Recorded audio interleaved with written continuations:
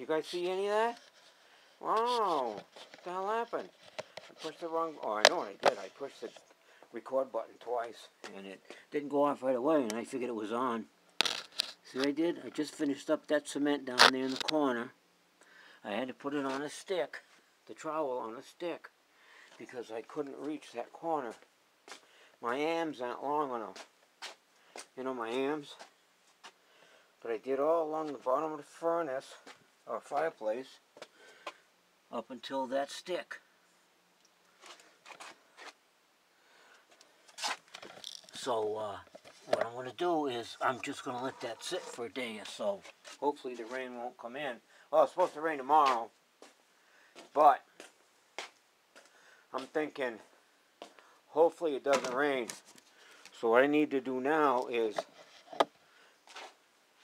not losing my light. Uh, paint over that with UGL uh, water paint. But that will stop it real quick. I gotta go upstairs. My back is hurting. Come on. Well, I can turn this off.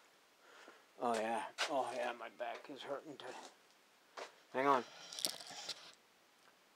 Gonna put my toque on. I call it my toque. That's what the uh, boys from the north said. Those two guys at two Canadian Canucks had a uh, channel not channel, but a uh, skit, comedy skit that they use. Oh, that was 30 years ago, people. Back in the 70s. Remember the 70s? Oh, that was 50 years ago. 40, 50 years, 40, 30, 40 years ago. Really?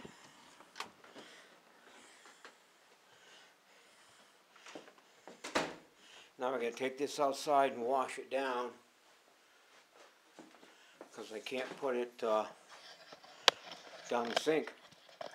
Too much of a glop, it might not uh, dissolve. You know, dissolve. Alright, I got metal, you guys don't.